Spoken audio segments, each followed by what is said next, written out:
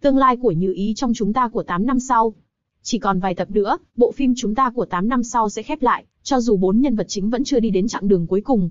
Nếu như Dương Lâm đang tràn đầy hạnh phúc khi yêu lại từ đầu thì Tùng, Nguyệt đã chính thức ly hôn. Bên cạnh đó, khán giả còn quan tâm đến số phận của Như Ý, cô tiểu thư cá tính một lòng một dạ dành tình cảm cho Lâm. Khi bị người trong mộng là Lâm liên tục từ chối lời tỏ tình, lại còn hẹn hò với người yêu cũ, Như Ý buồn bã chán nản cực độ. Diễn xuất của Thủy Anh ở những phân đoạn Như Ý, thất tình được cộng đồng mạng khen ngợi khi cô vừa rơi nước mắt bộc lộ sự mềm yếu, nhưng vẫn cố tỏ ra cứng cỏi.